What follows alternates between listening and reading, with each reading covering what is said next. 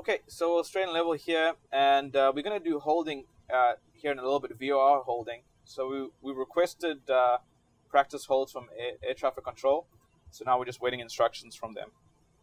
Riddle 462, turn left, direct the Ormond Beach VOR. Riddle 462, direct Ormond Beach VOR. So air traffic control, uh, TRACON wants us to go direct to the VOR. First thing we have to do is put the VOR frequency in, which is on our chart here, 112.6. We already had it in. Before we can use it, we have to identify it. Now the G1000 actually listens to the Morse code and displays the three-letter identifier up on your nav radio OMN. You've got to verify that those three letters are the same three letters on your low en route. So we'll go direct. We'll put in the, push the CDI button, make nav1 active, and what you can do, this course needle right here, this course button, if you push that in, it'll actually center your CDI, and you will use a standard rate turn and proceed direct to the VOR. If you push that in, it automatically points directly towards the VOR, and if we follow the arrow, it'll take us towards it. So first thing you do is tune the VOR, then you identify it by either reading the three-letter identifier, or you can actually push nav1 push the volume ID button and listen to the Morse code and verify verify the Morse code is the exact same Morse code on your low en route chart.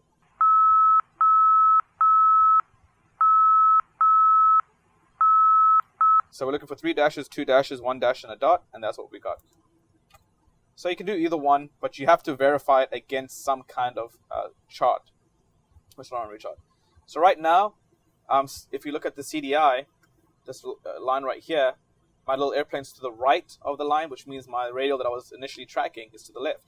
So we'll turn about 10 degrees to the left, re-intercept the radial, and when we re-intercept it, we're going to turn back and the wind correction is going to be an interesting thing here because the wind changes constantly depending on where we go and altitudes we change. So once you re-intercept your radial, you will want to come back to the radial and put in half the correction. So what I mean by that is that if I turn 20 degrees to the left to re-intercept the radial, when I get back on the radial, I'm not going to take 20 degrees out because I'll get blown off again. I will only take 10 degrees out. And if I if I keep going off the radial, then you're going to keep on using trial and error from there, taking in and taking out uh, certain amounts of wind correction angles until you find the one that you want. The G1000 does something cool. It does have this wind vector uh, diamond right here, this ground track diamond, this magenta diamond. So if I align that magenta diamond with my CDI, CDI that's centered, it actually gives me the wind correction, so I don't have to think too much about it. But it is a skill that you want to get. Obviously, you don't want to be too focused on automation and all these thing, all these little uh, gadgets, because that doesn't uh, allow you to be a better pilot in the, in the sense that you want to have some basic skills. Okay, so now we're going to conduct uh, holding. So we're going to direct to the VOR, still centered, and uh, the next thing we're going to do is wait on air traffic control to uh, uh give us a hold. So we'll notify them that we're ready for the hold. Daytona approach, Riddle 462 is ready to copy uh, instructions for the hold. Riddle 462, hold west of the Ormond Beach VOR on the 260 radial. Expect further clearance 1245 Zulu. Riddle 462, hold west of the Ormond VOR on the 260 radial and expect further clearance. Uh, say that time again. Riddle 462, expect further clearance 1245 Zulu. 1245 Zulu, Riddle 462. Okay, so now we've got a, a hold the first thing we have to do is figure out what entry we're going to use. Uh, now, if I'm going direct to the VOR, I got to kind of imagine the hold. They said hold west of the VOR. So if I look at my moving map here, here's Ormond, here's west, and they want me to hold west of the VOR on the 260 radial, and they didn't tell me any turns, so I'm assuming that it's right turns because they did not tell me. If there was any other turns, they would have told me left turns. So standard turns are right turns. So if I look at the VOR, the VOR, I can see the 260 radial. Imagine the 260 radial coming out.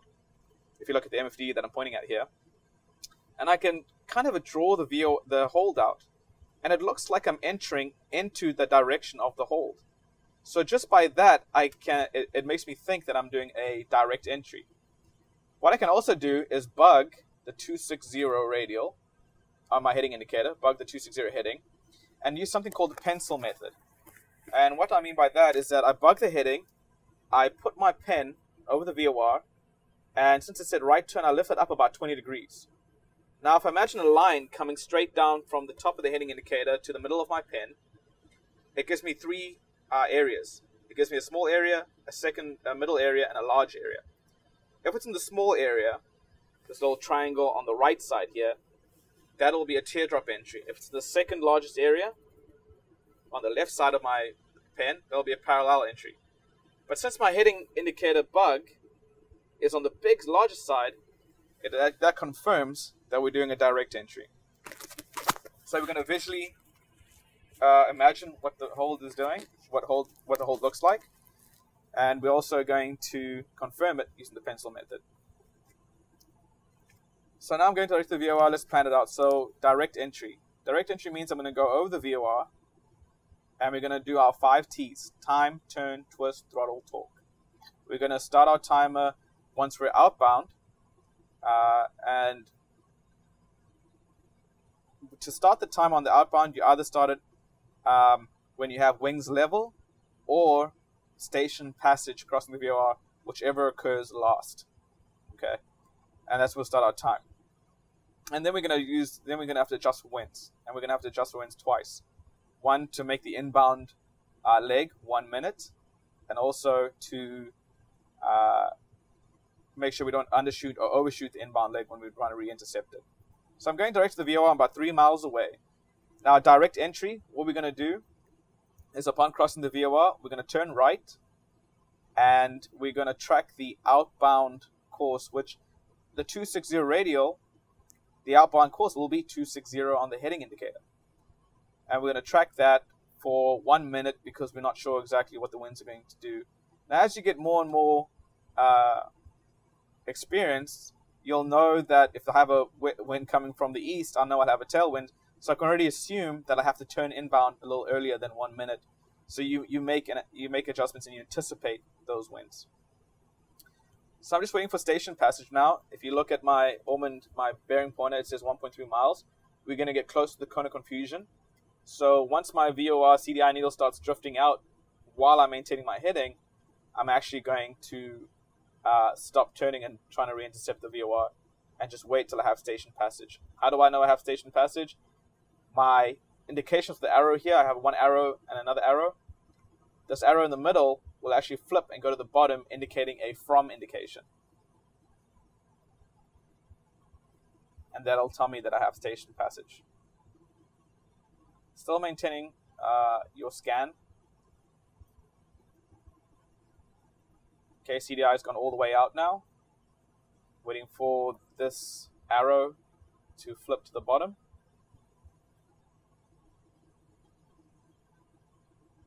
And there it is. So do your five T's. You're gonna pull up your timer, but we're not gonna start it yet. Time, we're gonna turn, standard rate turn to our outbound of 260. We're gonna twist to make sure we get the inbound course. So 260, even though we holding on the 260 radial, we have to have an inbound to indication when we come in on the radial.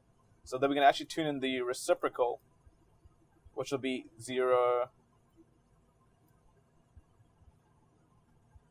zero 080.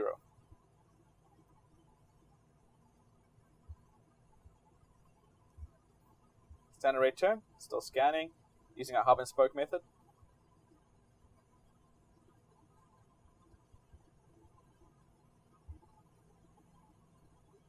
We're going to throttle for 100 knots.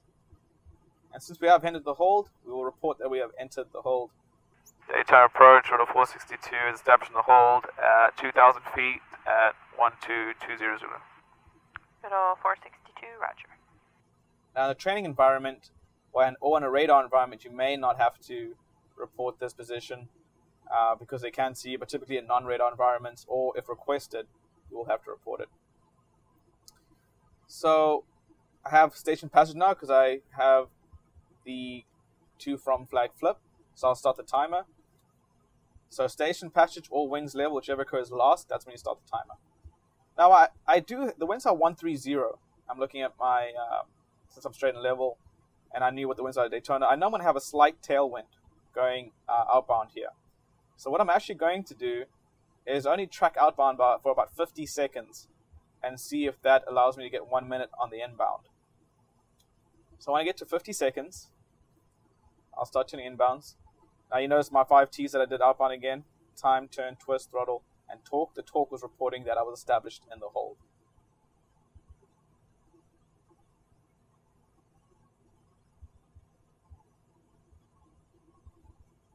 Here's 50 seconds. So we'll turn right, right aileron, right rudder, but standard rate turn, 15 degrees of bank. And we'll reset the timer. And when we restart the timer, we're trying to get one minute on the inbound, and we're only going to start the timer when we have uh, intercepted the radial or wings level, whichever occurs first on the inbound.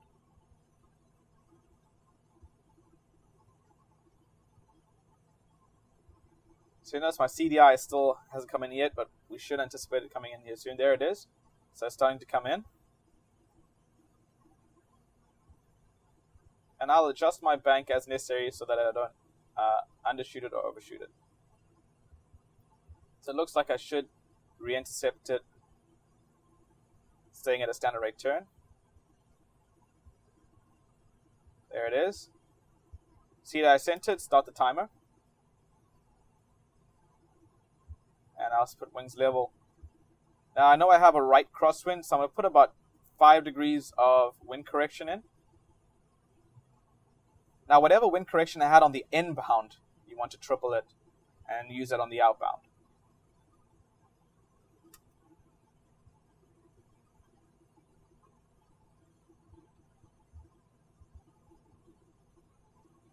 Okay, so I'm getting close to the cone of confusion.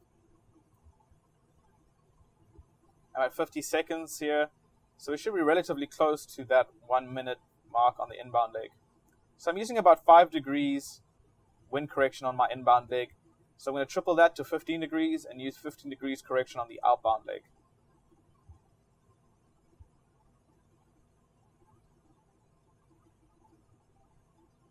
So I'm going to hold my heading since we are getting in the cone of confusion.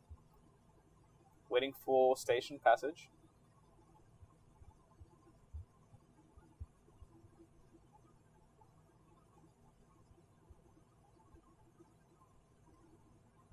So it looks like actually uh, the wind correction on the outbound wasn't enough because we're at 1 minute and 30 seconds here. The station passage. Roll in, right aileron, right rudder. Time, turn, twist, throttle, and torque. But we don't need to torque anymore because we already reported our position. So since we have a right wind correction on the inbound, we put a left wind correction on the outbound. And we're going to go to about a 245 heading on the outbound for the 15 degrees of wind correction.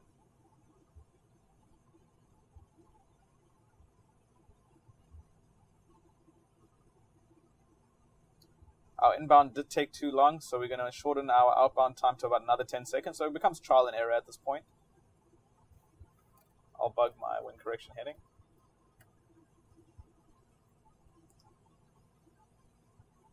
Okay.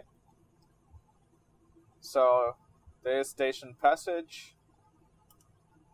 Now you'll notice I did go wings level before I had station passage. I only start the timer uh, on wings level or station passage again, whichever occurs last, just as a reminder.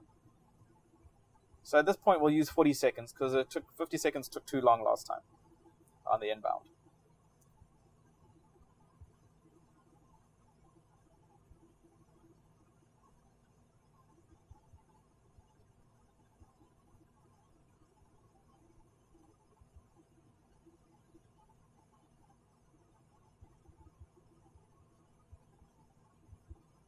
Okay, here's 40 seconds. We'll start our right turn.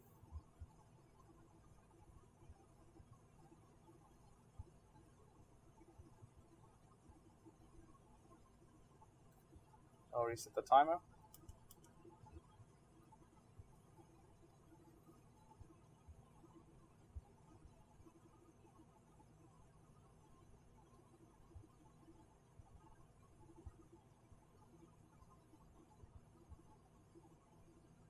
We'll see if our wind correction, that 15 degrees wind correction on the outbound, allowed us to re-intercept the CDI appropriately on the inbound without having to adjust bank too much.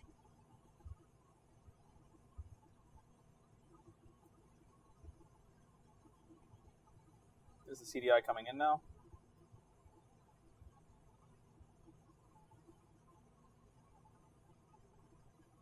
we'll start the timer at wings level or CDI intercept or radial intercept, whichever occurs first. All right, there's CDI intercept, start the timer. And we'll roll out on our 5 degrees wind correction. So that wind correction actually did work. Uh, we used 15 degrees of wind correction outbound, and you saw that we didn't have to adjust the bank too much to get on the radial. We'll see if we get one minute inbound here, and then make adjustments as necessary on further on further laps around the, the hold until uh, ATC then removes us from the hold. Now, holds are used to hold us over certain areas in case ATC is congested. They need to maintain separation. Uh, and typically, you'll find this going into a lot of times uncontrolled airports. If they're having IFR departures into the uncontrolled airports and you're trying to arrive, they'll hold you. Or going into very heavy, uh, uh, saturated, heavily saturated airports.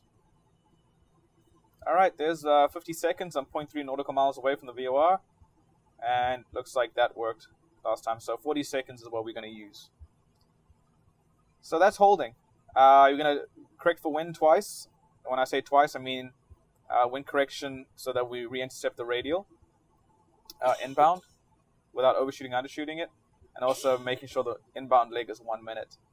Uh, we're going to depart the hold here. And uh, what also we have to watch out for is the different type of entries. Make sure that you don't use something just uh, as rote memory as the pencil method. Actually try and visualize the approach.